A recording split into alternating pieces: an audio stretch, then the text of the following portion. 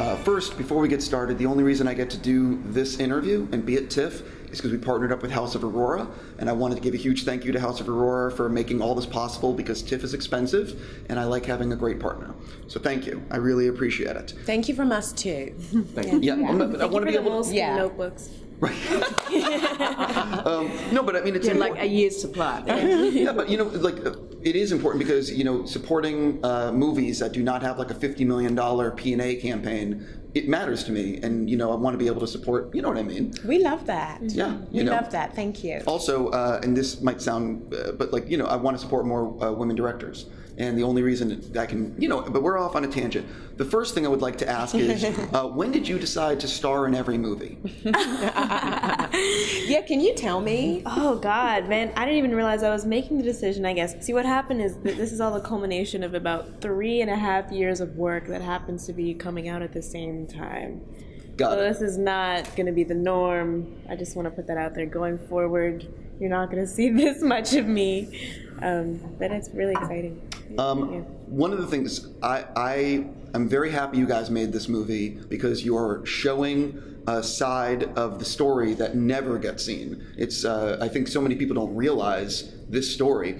Since so many people watching this will not have seen the movie yet, can you sort of describe? And I know it's generic, and I'm sorry, but could Yeah. you talk a little bit about what it's about? Yeah. So on the surface, um, this story um, looks at um, a 15-year-old um, Afro-German girl. She's half white, what Hitler would call Aryan, and um, born of an African French father. Um, and it's the story of one year in her life where she comes of age um, in 1944 Berlin under Hitler's rule. And um, what you see in the story is um, her um, living through and with alongside various relationships in her life um, her mother, her brother, um, as well as a Hitler Youth boy who's played by George MacKay. Um, and his his his journey towards finding his identity is a mirror of what is actually happening with Lena, who's living in this world where she is not she's not part of a group that is um, targeted for mass destruction in the way that the Jews were, mass murder, but on an individual basis. These Afro-German Afro-Germans live very difficult, um, uncertain lives, but they live these lives in local German cities and towns, and half their family were part of the structure, often that was creating the Nazi Germany that we read about in books today. So they had these kind of intrinsic relationships with the local German world, but they also weren't belonging. They weren't fully belonging. Um, and they didn't live in communities where they saw themselves reflected in any way, shape, or form. It was relative isolation. So it's, the re- it's really the story of how she goes um, from girl to woman against, you know, this world that has gone crazy. Uh, for the three of you, uh, talk a little bit about what your reaction was reading the script for the first time, and what you know, what was it about the script that said, "I, I really want to be a part of this." Um, I think Amma has this incredible ability to weave narratives that tell lessons in a really concise manner. And I think there's so many different dynamics explored in this film that I can't even begin to summarize all of them. Um, I think that each dynamic, each scene, each moment is intentional and reveals another layer um, about identity, about nation, um, about race and she does it just really seamlessly. So when I read the script, I was really drawn to that, and the amount of metaphors that existed within it that we were still we were still pulling back in the midst of filming. Um, I also think that Lena's story and and the way that she understands her identity and relates to it, and how that shifts from the beginning of the film to the end, is really compelling and also relatable. Um, I think at first you see this girl who doesn't understand her place in the world, um, or at least doesn't have a full understanding of the world within which she exists. Um, and you see her gain an understanding of her place, of her isolation, of what she represents in her country and what her country is. Uh, and I think that's really beautiful. For me, I think it, what struck me is it's a really personalized story. It's a story of individualism in a, in a mass community and, and how that resonates, you know. a ripple in the pond. You throw a stone and there's a ripple. And I think we see these characters go through go through a space and time which we call history, which is not exactly history. Um, and we get to experience that. And so this is a subjective film. It's a film that you experience, and I think that's what's beautiful about it. For me, it was like through Amma's beautifully crafted script. It's the, it's the questions of, of identity that it raised, that it raises socially, and then for me personally, and then having then that uh, understanding that those two reflect each other, that you kind of the personal questions of identity are then reverberate to a social level if you don't address them and take responsibility for them. Um, and that I thought was really important to explore personally and socially. Yeah. Um, so that was what it was for me. You're, you're dealing with some intense, sometimes dark subject matter. What is it like on set? What was it like on set making this? What did, did that permeate into the energy in between filming, or was it still? Do you know what I mean? Mm, I do. I mean, I think that um, because of the subject matter, um, it's true that it was emotional. We did go through, you know, just the relationship between Abbie and um, Amandla's characters as mother and daughter is emotional. The relationship between George and Amandla's character is emotional, on a, as um, Abbie puts so brilliantly, you know, on an intimate level. But we, but we were we were dealing with this. We were dealing with this massive moment in time and we were in spaces that that there was nothing we could do. We couldn't get away from it. And so i think we actively worked hard actually to keep ourselves um, both um, respectful of the circumstances that we were in and the story that we were telling but also to kind of really be the opposite of the world that this story is about. So it was for me as a filmmaker it was an it was a very healing, um, supportive environment. I know everybody says this when they come and sit on the sofa. Like I know this is what everybody says, but it for me it really was like family. I've um, never heard anyone say that in any of my interviews ever. I know. I'm going to be the first. It was. It was like family, and it was very. Um, there was never a time where I felt like, um, sometimes you can feel like you're pushing a boulder uphill. Sometimes you can, you know, you can be in situations where you're trying to communicate a vision to an actor and they just don't want to hear it. Um, that, um, you know, I know, don't worry, because I still get my way because I get to edit it. but the point is that just that just never ever ever happened here.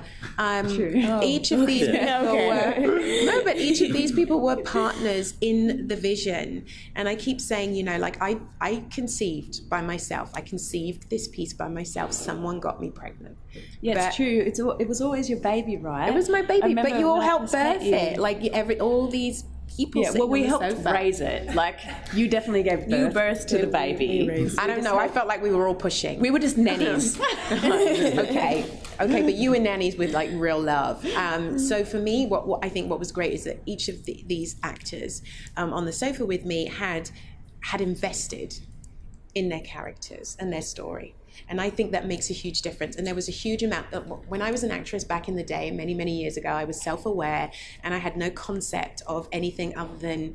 Um, what would it look like for me to step into this character? And what I think brilliant actors do is they don't care; they just lose themselves, and that's what the each of these did every single day, um, without the fear that they wouldn't come back. And so, in between um, shots, they could be themselves again, and we could have normal conversations and then we'd have to switch back into it. And i think that that was necessary because um, this world that we were in was relentless. Yeah i, I can't imagine. Um, i'm also uh, and this is i think movies like this about world war ii and this is a little bit me putting in the, myself in the interview and but i think it's important every year that we make a movie like this because it seems like and maybe you can comment on this that the real world like modern day people just like they just forget like they just um, uh, deny things that happened. And I think it's so important that movies like this, dealing with the subject matter, you know, mm. reminding these are real stories. This really happened. Yeah, I don't think it's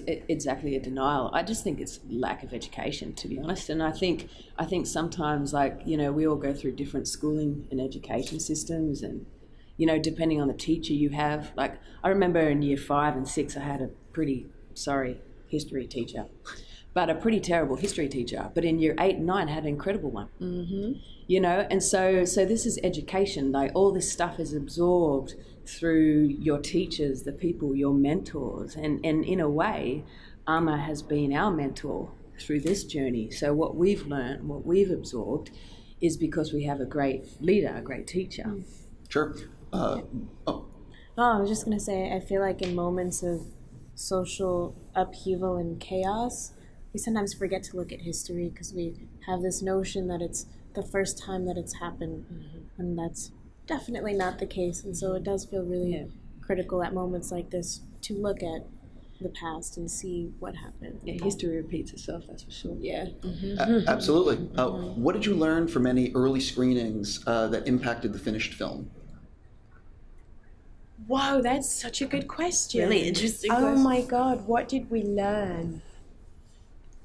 It didn't change very much. I've worked on films that, that did change. I mean, what I learned about the screenings that didn't really change the film was that, um, unlike the other films that I made, people people were finding it difficult to come back into this world from the movie.